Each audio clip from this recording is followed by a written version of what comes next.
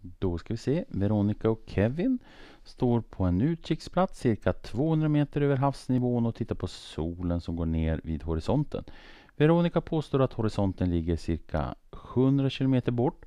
Kevin känner till en formel som man kan använda för att beräkna avståndet till horisonten. Så om vi befinner sig H meter över havsnivån är det S kilometer till horisonten. Och då har vi här en formel.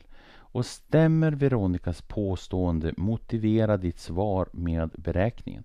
Så det vi måste veta först här, det är ju att veta H. Om man befinner sig H meter över havsnivån, då får vi leta här i uppgiften efter den informationen. Och här får vi veta att hon var cirka 200 meter över havsnivån. Så jag skriver här att H är lika med 200. Och då har jag S kilometer till horisonten. Så jag sätter in då S är lika med roten ur 13 gånger H. Och H var ju nu 200. blir 13 gånger 200. Och vi kan först räkna ut vad 13 gånger 200 är. Det är lika med 2600. Så det här är lika med roten ur 2600. Och vad är det då? Då måste vi slå roten ur och här har jag roten ur knappen. Finns här. Som ser ut så där. Och så skriver jag det här 2600 där under rotentecknet. Slår lika med så får jag 50,99. Och nu får vi tänka på antalet värdesiffror här. Så här säger hon att det är cirka 200 meter över havsnivån, den här utkiksposten här.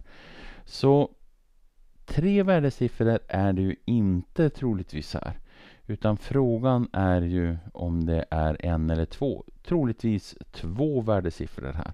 Och här så har vi ju 13 och det vet vi ju inte om det är ett exakt tal eller om det är avrundat på något sätt.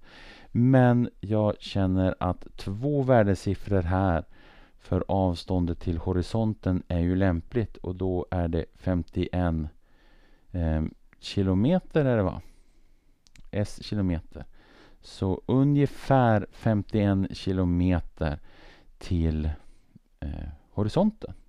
Och eftersom att Veronica påstod att det var 100 kilometer till horisonten och den här formeln säger att det är ungefär hälften så långt till horisonten så har ju Veronica fel. Sådär. Så svar Veronica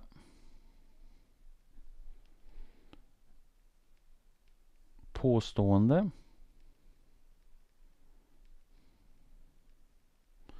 stämmer inte. Enligt formen är avståndet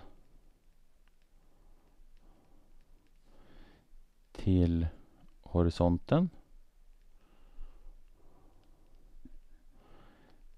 Eh, 50, vi kan skriva så här, cirka, cirka 51 kilometer.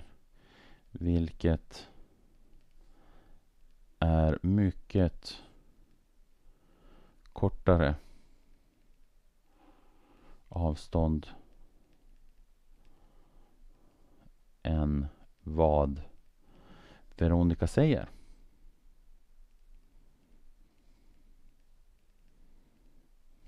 Sådär.